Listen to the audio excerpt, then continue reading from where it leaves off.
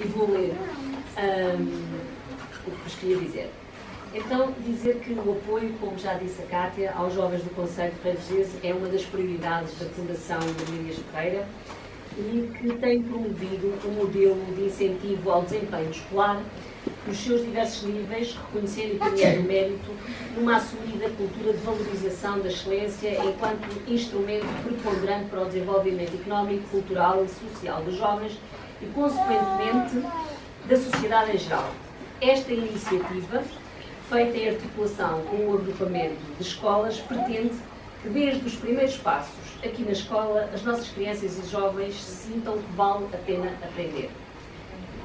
O Prémio de Mérito Escolar Fundação Marmilhas Ferreira destina-se a premiar os melhores alunos que no ano letivo imediatamente anterior, portanto, este ano estamos aqui relativamente ao ano passado, tenham frequentado os estabelecimentos de ensino do Conselho e é atribuído aos melhores alunos de cada ano de escolaridade, desde o quarto até ao décimo segundo ano, de acordo com determinados princípios. No primeiro ciclo, consideram-se os alunos de quarto ano com nível máximo nas três disciplinas e áreas curriculares não disciplinares e com nível 5 nas provas finais de português e ou matemática, são, como sabem, aquelas que existem. Existem ou é, existiam. Apesar de no ano letivo passado não se terem realizado as provas finais do primeiro ciclo, precisamente porque houve alterações relativamente às avaliações no ensino básico, considerou-se que se devia premiar o aluno que obteve nível máximo nas três disciplinas e áreas curriculares não disciplinares. Assim, chamo para receber o prémio de mérito o aluno do primeiro ciclo, Duarte Seabra. Está cá?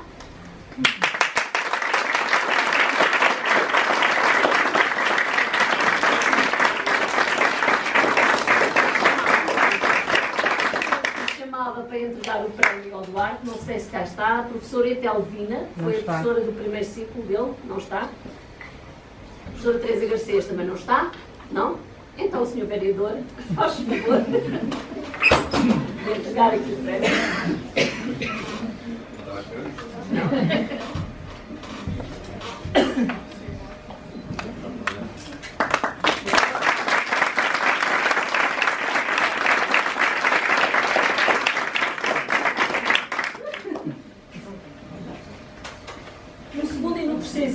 consideram-se os alunos com nível 5 a todas as disciplinas e satisfaz bem nas áreas curriculares não disciplinares, o nível 4 a uma das disciplinas, nível 5 às restantes e satisfaz bem nas áreas curriculares não disciplinares.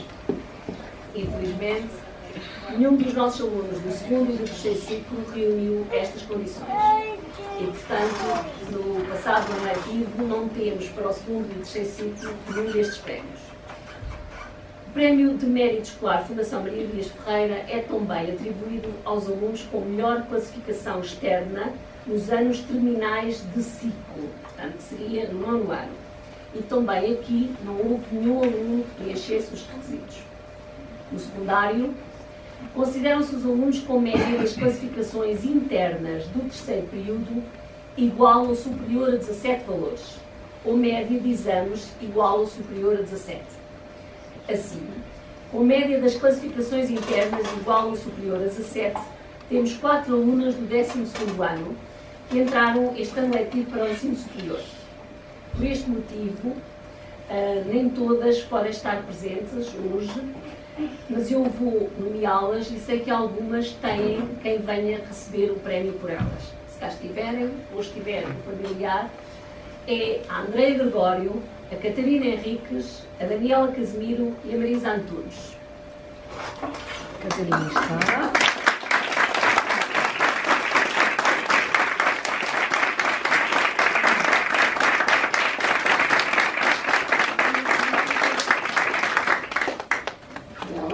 Muitos parabéns para ti. E eu ia pedir aos nossos, alguns dos nossos professores do secundário que aqui estão presentes, à professora Edelinda, à professora Sara, que viessem entregar-nos os prémios.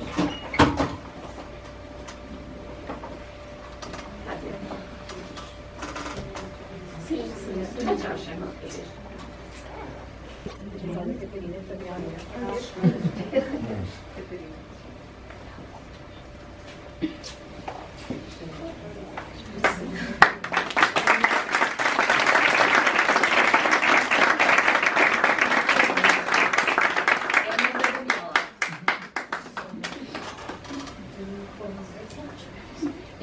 chamamos agora o, o outro menino do primeiro ciclo, onde é que ele está? Ah, comigo, claro. Uma fotografia agora para os prémios méritos escolar.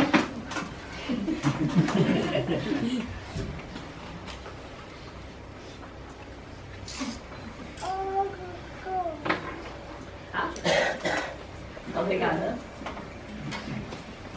Passamos de seguida à atribuição de prémios na categoria de esforço e dedicação. Perseguir resultados com grande tenacidade numa atitude de melhoria contínua, apesar de enquadramentos por vezes adversos, são comportamentos que a Fundação quer promover com a atribuição deste prémio, acreditando que os fins são importantes, mas que não devemos esquecer os meios para lá chegar. Nem todos podem ser os melhores, mas todos podem esforçar por ser os melhores. E isso faz toda a diferença.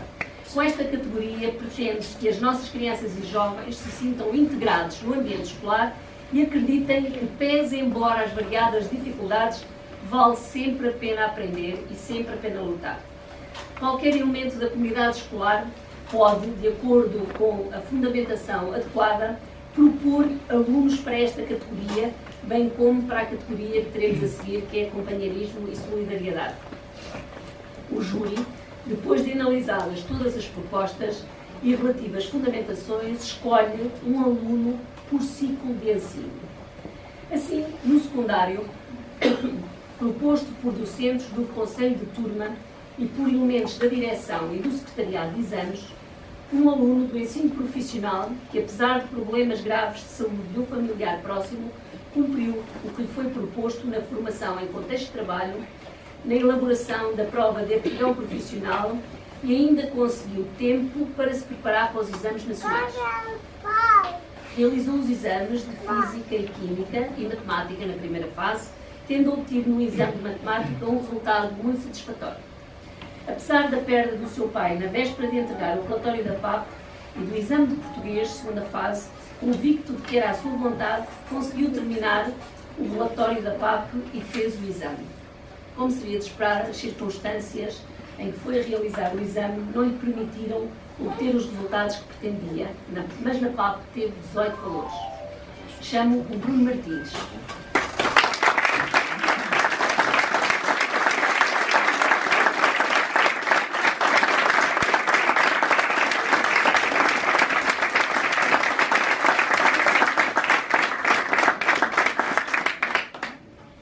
A professora Teresa Rita está cá.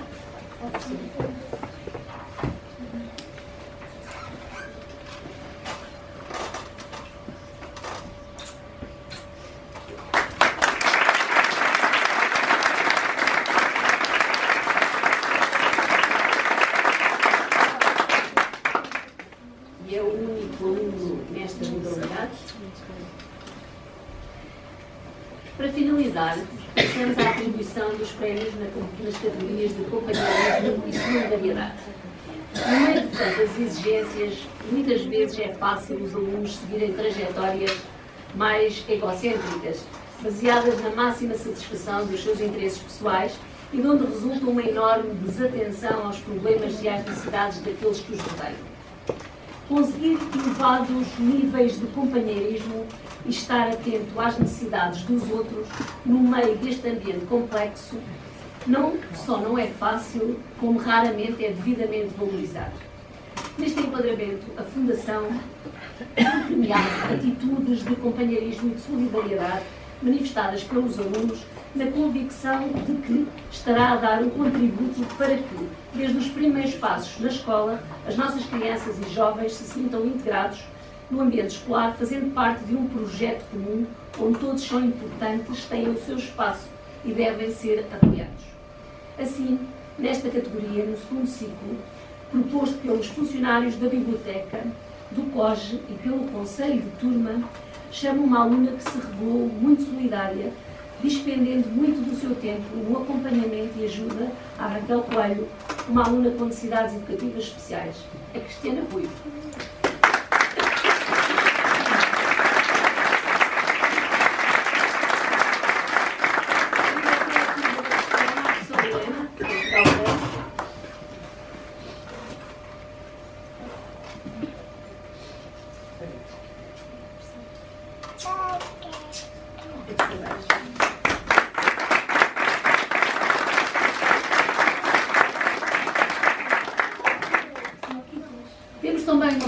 proposta no secundário, proposto pelo Conselho de Turma um aluno que, quer em contexto de sala de aula, quer em atividades fora da escola, mostrou sempre grande disponibilidade em acompanhar e orientar os colegas de turma com necessidades educativas especiais.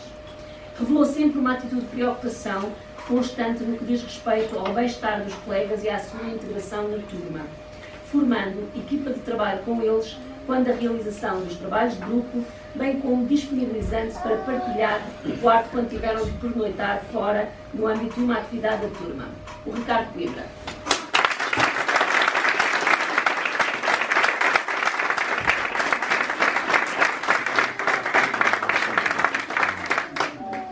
A professora Henriqueta está cá? Ainda não chegou? Está a entrar o o Ricardo. Então, estes prémios não têm cá os presentes, não é?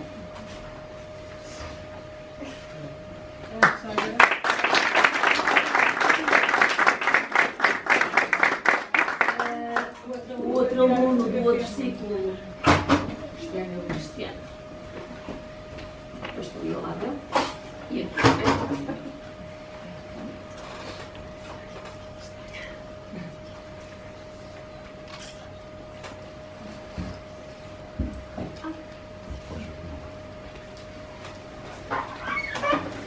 Antes de terminarmos, eh, e os prémios estão todos entregues, estes são alunos que não puderam estar presentes.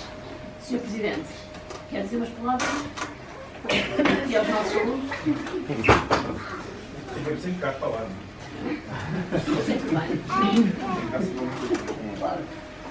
Boa tarde a todos. É sempre um enorme prazer estar presente quando se premiam alunos, bons alunos, bons companheiros, bons amigos. Ahm, e estes prémios provam que vale a pena estudar, como já aqui foi dito. Ahm, vale a pena não desistir, vale a pena fazer esforços no sentido de se conseguir chegar mais além. Temos aqui um exemplo do Bruno, que apesar das adversidades que passou, em grande esforço, veio fazer a prova e conseguiu entregar a PAP. Portanto, é um exemplo para todos os alunos que aquelas culpazinhas que se arranjam para não estudar ou para não fazer os trabalhos, não passam disso mesmo, são só pequenas desculpas. Ponham os olhos no Bruno, eh, porque ele deu uma lição a todos vós, a todos nós. Eh, provou que quando se quer uma coisa, se consegue sempre lá chegar. Estudar hoje em dia não, não é fácil, nunca, nunca foi fácil, porque infelizmente eh, as saídas profissionais são cada vez mais difíceis, mais complicadas, mas umas coisas vos garanto, posso garantir, aliás, para os bons alunos há sempre saída profissional, todos os bons alunos têm emprego. Portanto, isto que eu vos estou a dizer eh, pode não, algumas pessoas não parecer bem, mas, mas é a realidade e vocês já sabem isso desde muito cedo. Temos que ser competitivos na escola. Podemos ser competitivos e podemos ser amigos dos nossos colegas na mesma. Se os continuarmos, se os ajudarmos a eles, estamos a ajudar a nós também. Porque quando estamos a ensinar a matéria a eles, estamos a, a ficar ainda com mais conhecimentos, a consolidar os conhecimentos e o caminho para o sucesso é consolidar conhecimentos. Porque quem só estuda na véspera geralmente corre mal. É que se eu fosse treinar para a maratona da manhã, a ver o que é que acontecia, não era? Era o primeiro, seguir. Portanto, eu se quiser correr uma maratona, tenho que começar em 5 anos antes a, correr. Os alunos é a mesma coisa, para entrar na universidade, para serem bons alunos da universidade, para se conseguirem formar com boas notas, uh, tem que estudar com muita antecedência. Uh, é assim, eu estudei até aos 19 anos, uh, no curso normal. Tive 3, 4 anos sem estudar, depois tive no 12 de noite e tirei a minha licenciatura toda de noite em 5 anos, a partir dos 25 anos. Portanto, se alguém sabe o que é que custa estudar de noite, sou eu. Portanto, para aqueles que podem, para aqueles que tenham oportunidade, não deixem para mais tarde. Aproveitem agora. Porque agora parece difícil, mas quando forem mais, mais velhotes, com 20 anos, 25, é tudo fácil. Mas se pensarem em estudar mais tarde, já casados, com filhos, e eu sei o que é isso, estudar já casado e com filhos, acreditem que é 10 vezes mais difícil. Portanto, é esse o desafio, empenhem-se, deem o vosso melhor. Eh, Na parte da Câmara Municipal podem contar connosco para vos ajudar naquilo que nos é possível ajudar. Como sabem, a educação, eh, na sua esmagadora maioria, não é connosco, graças a Deus. Eh, É com o agrupamento, é com o Ministério da Educação. Mas como sabem, nós temos bolsas para quem quer seguir o ensino superior Uh, temos 10 bolsas, estamos a pensar seriamente em aumentar pelo menos a 50%, porque notamos também que começam a, acontecer alguns casos em que bons alunos deixam de estudar porque não têm condições financeiras. Uh, e isso penso que é um crime mais. Portanto, se todos nós, enquanto comunidade, deixarmos de ter uma coisinha ou outra para dar uma bolsa de 2 ou 3 mil euros por ano, penso que não fazemos mais que a nossa obrigação. Uh, portanto, as bolsas de estudo estão já abertas. Para quem não, ainda não sabe ou não conhece o regulamento para ir à internet, não deixem de concorrer, porque é uma boa ajuda para os vossos pais. Uh, e assim vocês poderão contribuir com essa ajuda para que tenham mais dificuldades financeiras, prosseguir os vossos estudos uh, e tornarem-se bons profissionais, que nós precisamos. E precisamos também que sejam bons profissionais, mas que se fixem em Ferreira de Zeza, criem os vossos empregos, as vossas empresas, porque senão, a continuar este ritmo, qualquer Ferreira de Zeza é apenas uma terra muito gira, mas sem pessoas, e nós precisamos sempre pessoas, porque sem pessoas não há escola, a escola já se debate com graves problemas com falta de alunos, Uh, nós, enquanto Conselho, também temos metade da população que tínhamos em 1960. Portanto, uh, apliquem-se, criem o vosso emprego, é esse o desafio. Uh, não deixem, mais tarde, se precisarem de apoio para se instalar, para ter vosso emprego, também chatear o Presidente da Câmara da Altura, porque se Deus quiser, não ser eu. Uh, com, com certeza que bom rapaz e ajudará também. Ok? Resta-me, e já rolou um, discurso muito longo, desejar bom Natal e um 2017 cheio de boas notas. Os alunos, os outros ter boas notas. ok? Obrigado.